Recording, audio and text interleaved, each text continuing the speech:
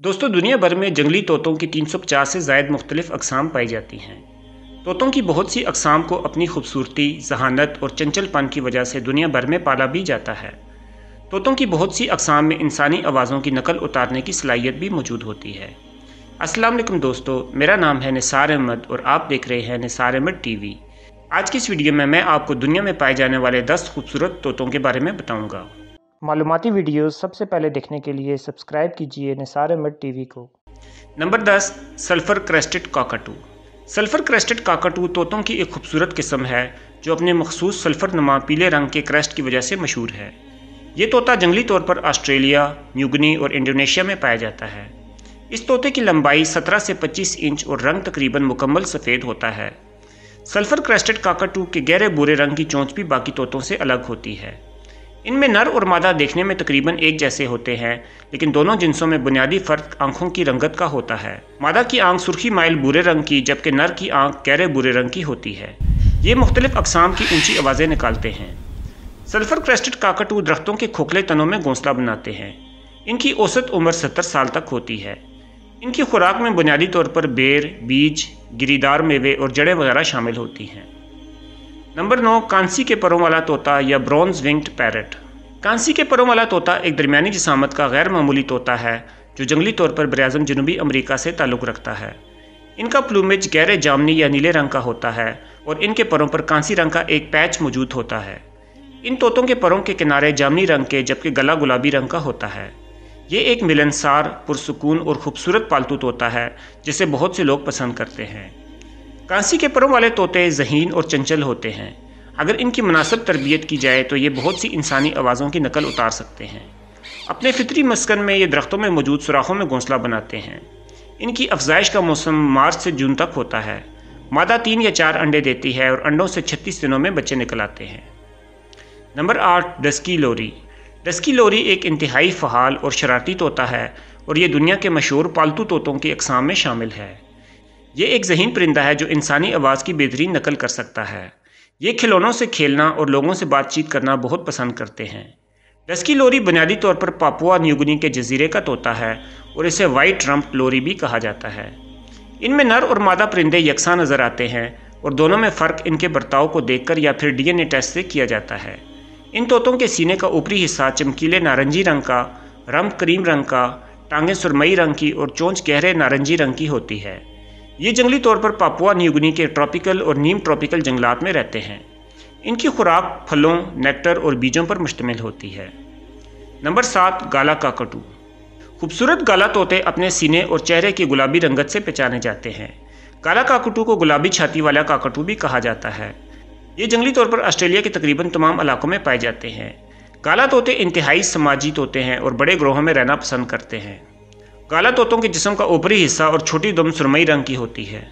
नर और मादा परिंदे तकरीबन एक जैसे नज़र आते हैं, लेकिन दोनों में फ़र्क ये होता है कि नर परिंदे की आँखों का रंग गहरा बुरा होता है और मादा का गुलाबी माइल सुर्ख होता है। काला तोतों के बड़े जोड़ में हज़ार तक परिंदे शामिल हो सकते हैं। ये अक्सर आसमान में खूबसूरत करतबों के साथ प्रवास करते हैं। काला तोतों का झुंड बाज़ात खुराक की तलाश में लंबा फासला भी तय करते हैं। नंबर छः नीला और पीला मकाओ या blue and yellow macaw. Blue and yellow macaw तोतों की एक बड़ी जिसामत की खूबसूरत नौ है, जिसका ताल्लुक बरआज़म जनूबी अमरीका से है, जहाँ ये मरतूब जंगलात और दलदली इलाकों में रहते हैं। इनके जिसम का ऊपरी हिस्सा नीला, जबकि निचला हिस्सा पीले रंग का होता है।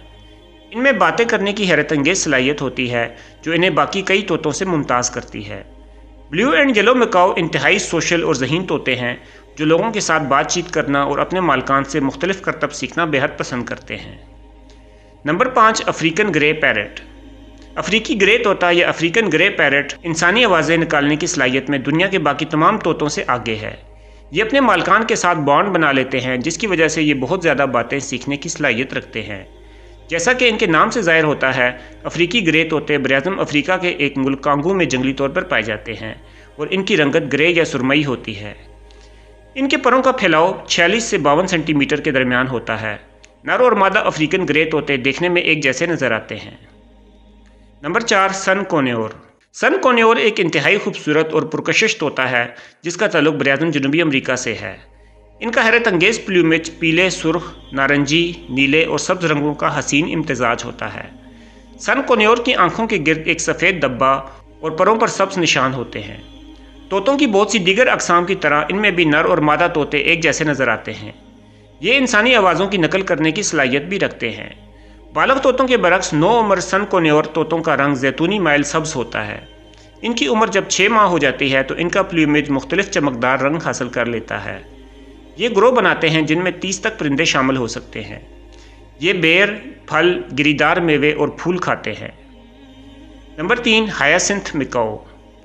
हायासिंथ मिकाओ दुनिया का सबसे बड़ा उड़ने वाला तोता है, जिसकी चोंच से लेकर दुम तक लंबाई 40 इंच तक हो सकती है। ये एक नायाब नस्ल है जिसको IUCN ने इंडेंजर्ड का स्टेटस दिया है। ये बुनियादी तौर पर जनूबी ब्राज़ील के ट्रॉपिकल जंगलात में पाए जाते हैं, जहाँ इनकी तादाद अब इंतहाई कम है। इनका प्लूमेज चमकदार नीले रंग का होता है और इनकी बड़ी सी चोंच होती है। हायासिंथ मैकाओ एक इंतहाई जहीन परिंदा है जो अपनी बड़ी बड़ी उंगलियों की मदद से मुख्तलिफ़ औज़ार भी इस्तेमाल करने की सलाहियत रखते हैं। नंबर दो इलेक्टस इलेक्टस तोता जंगली तौर पर ऑस्ट्रेलिया और पापुआ न्यूगनी से ताल्लुक़ रखता है।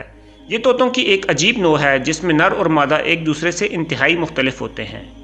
नर तोते का रंग चमकदार सब्ज होता है, जबकि मादा चमकदार, सुर्ख और जामनी रंग पर मुश्तमिल होती है। दोनों जिनसों की रंगों में पाया जाने वाला यह तजाद इलेक्ट्रस तोतों को बाकी तमाम तोतों से मुनफरद करता है। दोनों जिनसों में एक और नुमाया फ़र्क चोंच की रंगत का भी है। नर इलेक्ट्रस की चोंच का ऊपरी हिस्सा नारंगी और पीले रंग का होता है, जबकि मादा की चोंच स्या रंग की होती है। इलेक्ट्रस दुनिया के बेहतरीन पालतू तोतों में से एक है। ये बहुत पुरसकून रहने वाला तोता है जो छोटे ग्रोह बनाकर रहता है। इलेक्ट्रस तोते तोतों की दूसरी नस्लों के मुकाबले में बातचीत की एक बिल्कुल मुख्तलिफ़ अंदाज में महारत रखते हैं। खुशी और गुस्से का इजहार करने के लिए इलेक्ट्रस तोते अपने सर पर पंख उठा लेते हैं। इनकी उम्र 30 साल तक होती है। नंबर एक, स्कारलेट मकाओ स्कारलेट मकाओ एक बड़ी जिसामत का तोता है, जो दुनिया का खूबसूरत तरीन तोता भी कहलाता है। ये वस्ती और जनूबी अमरीका के बारशी जंगलात में रहते हैं। स्कारलेट मकाओ अपने पुरकशिश प्लूमेज के लिए मशहूर हैं। इनके जिसम का ज़्यादातर हिस्सा चमकदार सुर रंग का होता है, जबकि इनकी कमर नीले रंग की होती है। ऊपरी बाजू पर पीले रंग के निशान और दुम हल्की नीले रंग की होती है। ये एक इंतहाई जहीन तोता है जो बहुत से अल्फाज और आवाज़ों की नकल करने में कमाल का मुजाहरा कर सकता है। इनको अगर मुनासिब तरबियत दी जाए तो ये अपने मालकान से मुख्तलिफ़ करतब सीख सकते हैं। इसके अलावा ये मुख्तलिफ़ शक्लों और रंगों में भी तमीज़ कर सकते हैं। स्कारलेट मकाओ की उम्र 40 से 50 साल के दरमियान होती है। दोस्तों, जंगली हयात के हवाले से मुफीद मालूम के लिए हमारा चैनल ने सारे मट टी वी लाजमी सब्सक्राइब करें और इस वीडियो को लाइक और शेयर ज़रूर करें।